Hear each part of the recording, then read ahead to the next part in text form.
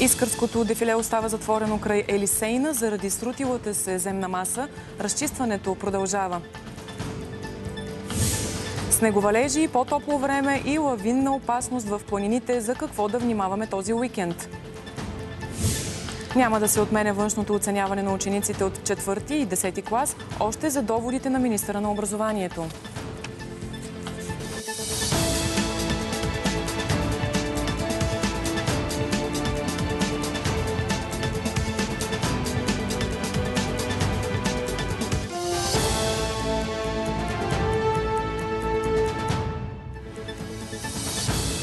Това са обедните новини на БНТ в събота. Добър ден!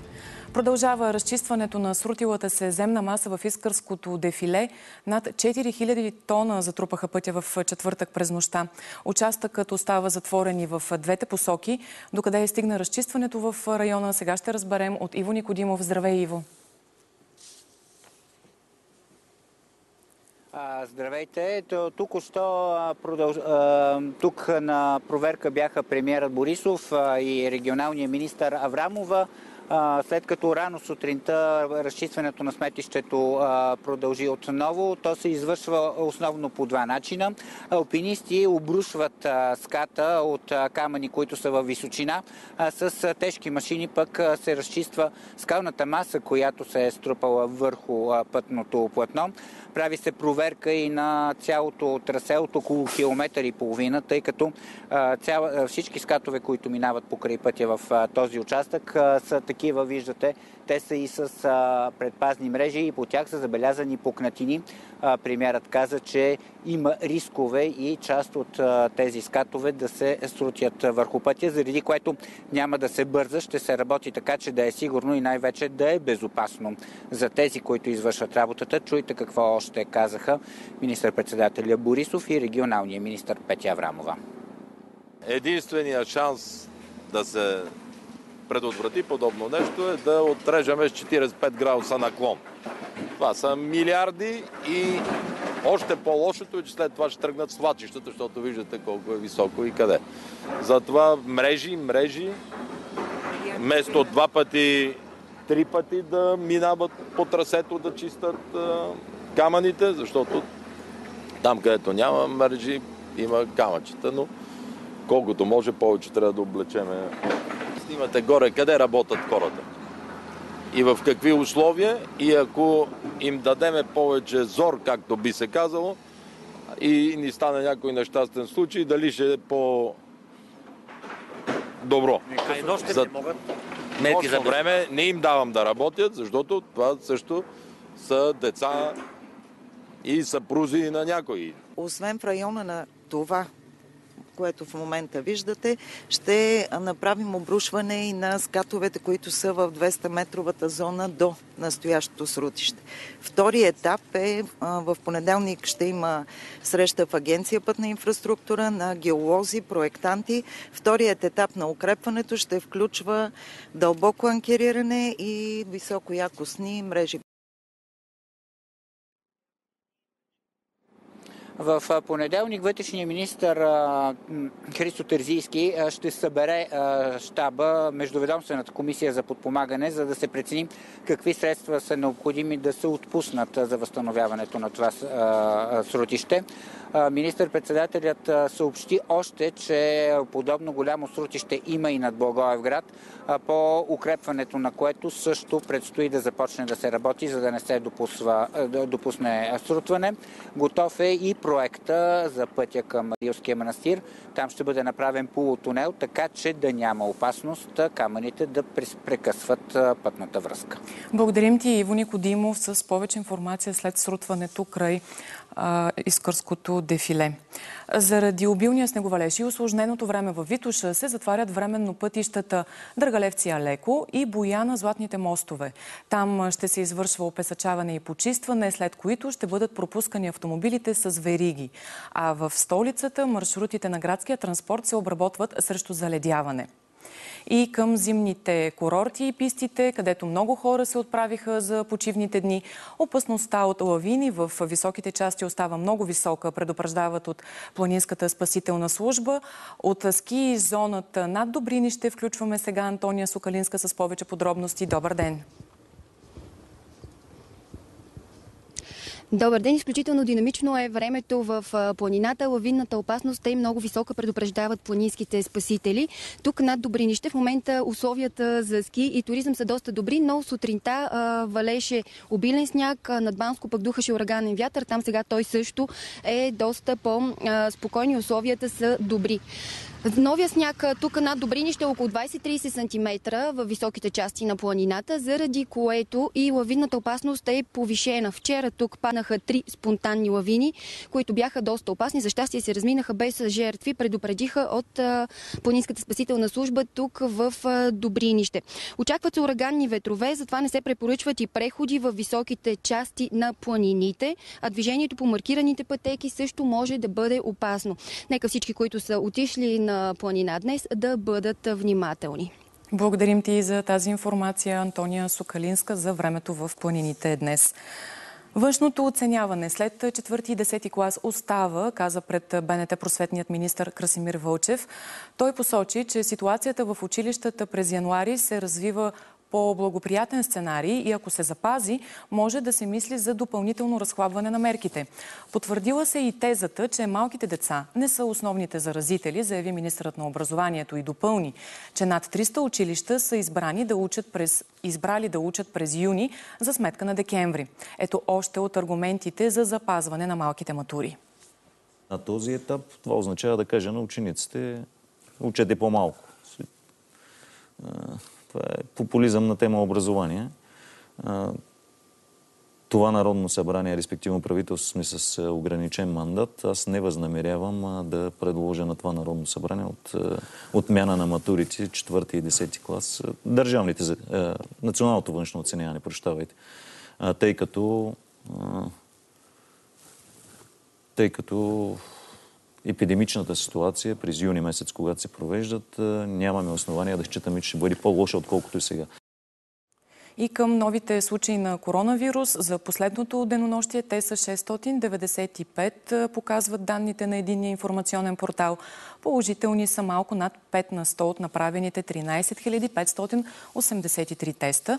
Най-много са новозаразените в София и Пловдив, а най-малко в Видин и Търговище. Починали са 35 души, в болници в страната се лекуват 2848 души, от тях 261 са в интензивни отделения. За един ден са вакцинирани общо 3169 души, с които общият им брой става 40 Година след като Световната здравна организация обяви извънредна ситуация, свързана с общественото здраве заради коронавируса, опитите за ограничаване на разпространението му продължават. Чехия и Франция с строги правила за влизане на територията им. Италия се подготвя за поетапно облегчаване на мерките. Още по темата защо ваксините предизвикаха напрежение между Европейския съюз и Великобритания и защо СЗО критикува Съюза от Теодора Гатева. От днес в Чехия са забранени несъществените пътувания. Хотели и хостели ще обслужват само хора, които могат да докажат, че са по работа в страната. Чехите трябва да се ограничат само с семейни контакти. А от утре Франция е затворена за държави извън Европейския съюз. Всички, които влизат в страната от държава членка на обединението, ще трябва да предоставят отрицателен ПСР-тест. Ще се правят изключения за определени групи. Целта на новите правила е да се избегне поредна пълна карантина. Мерките се затягат още в Белгия и Португалия, а Италия се готви за постепенното им облегчаване от понеделник, въпреки предупрежденията на здравните експерти. Късно с нощи Европейската комисия се отказа от въвеждането на забрана върху доставката на вакцини срещу коронавирус в Северна Ирландия. Така Брюксел даде заден ход за задействане на извънредни мерки, заложени в споразумението за Брекзит, за да ограничи износът на вакцини през ирландската граница към Обединеното кралство. Това се случи след бурни протести в Лондон, Белфаст и Дъблин.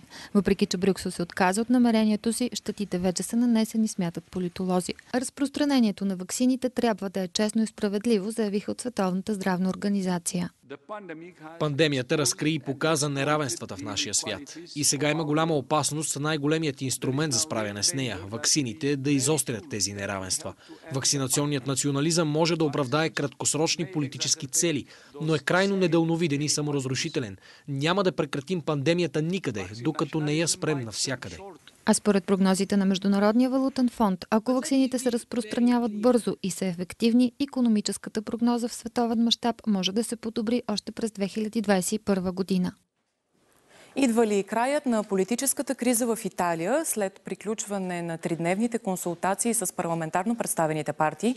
Президентът Серджо Матарела връчи проучвателен мандат на председателя на Камерата на депутатите Роберто Фико. След разговорите при държавния глава се е появила възможност за стабилно политическо мнозинство. То би трябвало да включва досегашните коалиционни партньори.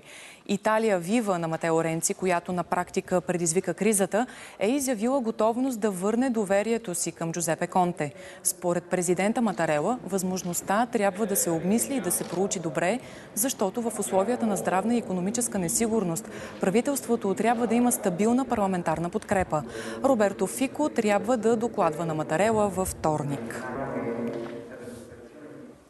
Протестите срещу забраната за аборти в Полша продължават. Шествия имаше в няколко градове в страната, като най-масови бяха в столицата Варшава.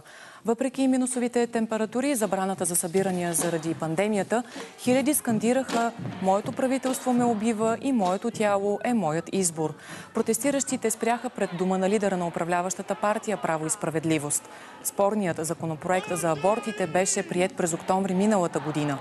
Заради масовите протести тогава правителството поиска решение на Конституционния съд, който също даде зелена светлина на документа. Според него в Полша абортът е забранен дори при вроден дефект на плода.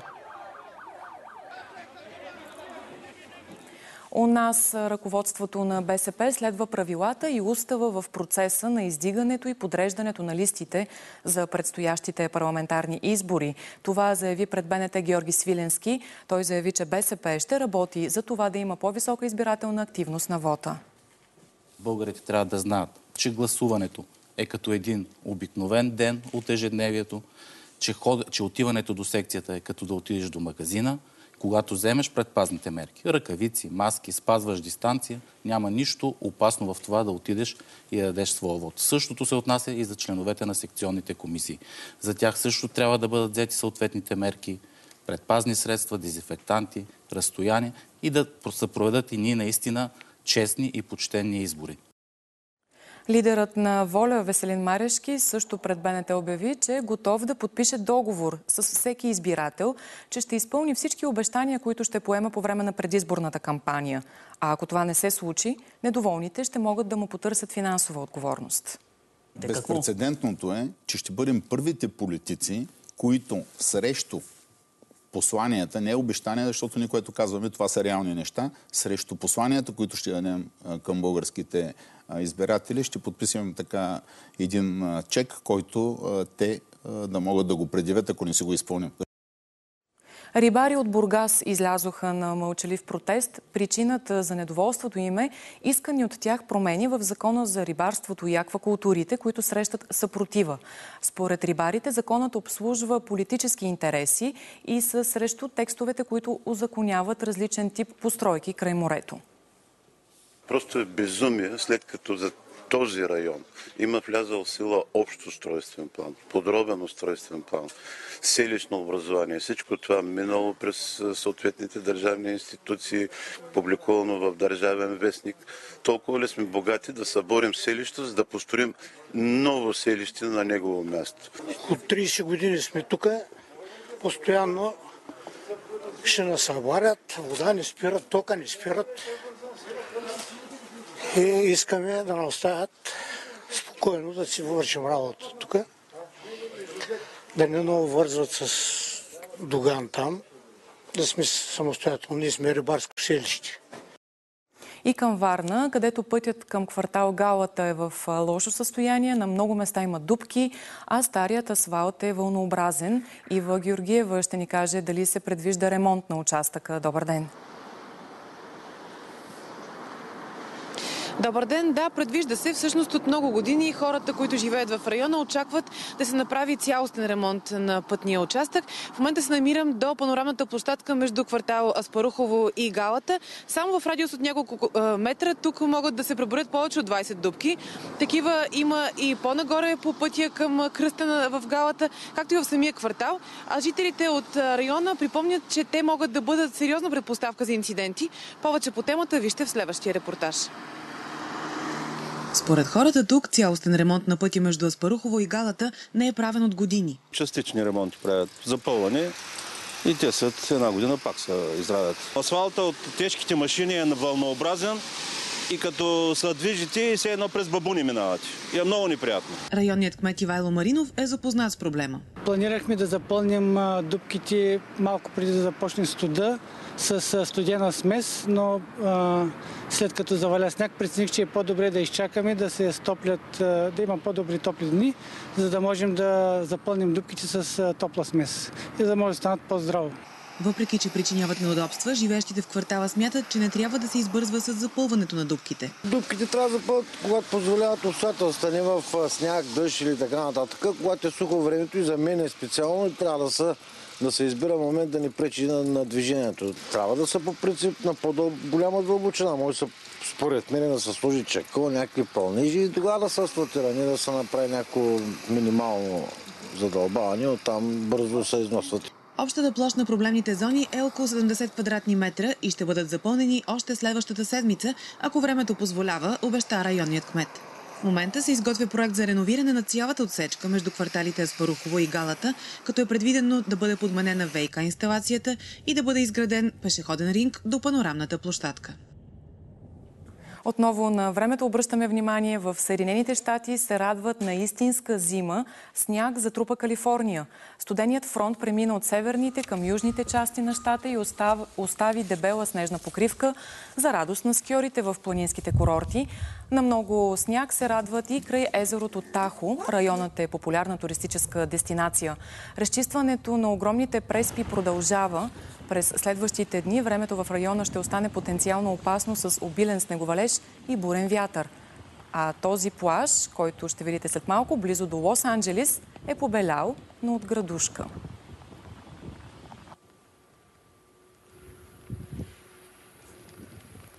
Какво време нас ни очаква през почивните дни, но и не само. Сега ще ни каже Влади Ковачев. Здравей! Добър ден! Е, у нас, за разлика от Калифорния, по-сериозна снежна покривка в момента има само в планините. Това е така, защото повишението на температурите продължава. Вече дори сутрешните температури са положителни. Ето и таблица с минималните е, стойности днес. Само градус 2 под нулата на отделни места остана температурата. Какво да очакваме в близките дни? Ще остане ли по-топло от обичайното? След малко прогнозата. Благодарим ти, Влади. Очакваме те след емисията. А как да внесем хармония в несигурното ежедневие по време на пандемията? Рецептата идва от Япония и нейното традиционно изкуство за аранжиране на цветя. Икебана се основава на духовни и естетически принципи, следвани и спазвани от древността а почитателите им у нас наредиха своя изложба в Пловдив. В своята 500 годишна история Икибана развива различни форми, от обикновена окраса за дома до огромни новаторски скулптури. Наричано още пътя на цветята, изкуството се възприема и като начин на медитация, обяснява сенсей Мирослава Иванова Хосен. Действа на мен лично антистресово и ме доближава до природата. Занимавайки се с икебана, аз открих много детайли в природата, които преди това не бях обръщала внимание. Обучавана в една от най-авторитетните школи по икебана в Япония, сенсей Мирослава предава наученото на своите ученици. Това е едно предизвикателство, дори с едно листо и някакво клонче да изглежда естетически красиво и самият човек да го усети като част от душата си, част от природата. Идеята ми за тази композиция е съвременната ситуация в целия свят. Войни, вируси, всички сме под огромно напрежение, но цветята умиротворяват. Те са красотата на живота. Красивите композиции, които вдъхновяват и успокояват, са изложени в Градската художествена галерия на Пловдив. Фил Колинс става на 70. Музикант, барабанист и текстописец. Роден е в Лондон, започва кариерата си през 70-те като барабанист на легендарните Genesis. През 80-те започва успешна солова кариера. Има множество награди. Грами, носител е на Оскар за музиката си към филма Тарзан. Продал е 100 милиона албума.